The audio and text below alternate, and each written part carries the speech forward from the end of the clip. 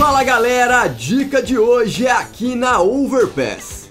Primeiro, se posicione encostado nesse canto embaixo da escada da ligação. Agora você vai mirar bem no meio da intersecção dessas linhas mais escuras no teto. E aí é só agachar e soltar a flash com o botão esquerdo do mouse. Essa flash vai rebater na escada, atravessar a janela e estourar lá no esgoto, facilitando um redomínio dessa região e cegando qualquer oponente que estiver marcando por ali.